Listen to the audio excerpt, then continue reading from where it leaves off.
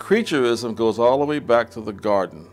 And in one way or the other, you can say that Adam and, and, and Eve, when they decided to eat of the forbidden fruit of the knowledge of good and evil, or the determination of good and evil, what they were doing in essence, they, they weren't getting the information about good and evil. They knew what good and evil were.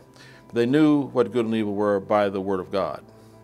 And so the, the real temptation is how do you determine what good and evil is? How do you distinguish? Do you distinguish these two by the Word of God, or do you distinguish? Do, do you do you uh, distinguish them by your own opinion?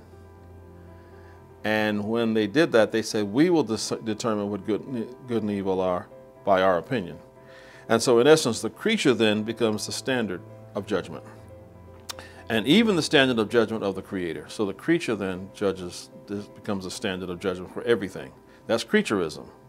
So now, having taken that, then there are many manifestations of creaturism. There's meism when I, I judge everybody else by the standard of myself.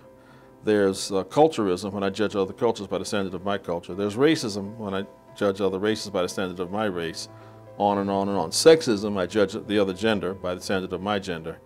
And whenever you judge anything or anybody by the standard of yourself, the other person is inferior by definition because nobody can be me as well as I can be me. No race can be my race as well as my race can be. And that's where racism comes. So it's one of the manifestations of creaturism. You go to some other places, it's tribalism.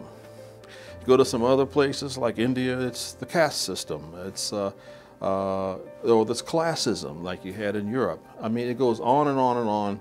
Uh, all these are manifestations of the same thing, and they and they have the basic same uh, the same basic uh, uh, basic patterns. So racism is only one of the manifestations.